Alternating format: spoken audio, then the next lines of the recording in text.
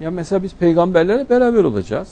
İnşallah. Aynı bahçelerde olacağız inşallah. Aynı İnşallah. sofralarda yemek yiyeceğiz. Çünkü çok fazla vücudumuz olacak.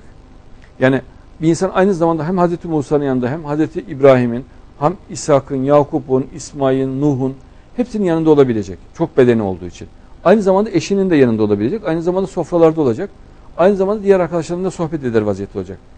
Bu bütün bedenlerine tek bir ruh hakim olacak. Kendi ruhu hakim olacak. Hepsini de hissedecek. Yani biz nasıl parmaklarımızı tek tek ayrı ayrı hissediyoruz? Evet. Değil mi? Mesela her parmak ayrı. Ama hepsini ayrı ayrı hissediyoruz tuttuğumuzda. Ee, mesela iki kulağımızdan da aynı anda duyuyoruz. İki kulağımız var ama aynısını duyuyoruz. Tek bir ruh hepsini duyuyor. İşte ahirette de böyle. Yani nasıl gözümüzden, kulağımızdan, ellerimizden, ayağımızdan gelen hisleri nasıl tek bir ruh duyuyorsa o bütün bedenlerden gelen hisleri de tek bir ruh duyacak.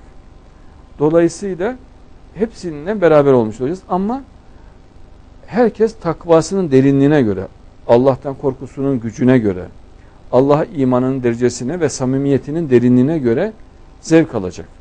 Mesela cennet hurilerinden herkes aynı zevki almaz. E, takva olanlar daha çok zevk alacaklardır. Ama bu bilinmeyecek. Yani çünkü bilinmesi insanlara bir ceza olur. Evet. Bunu bilmeyecekler.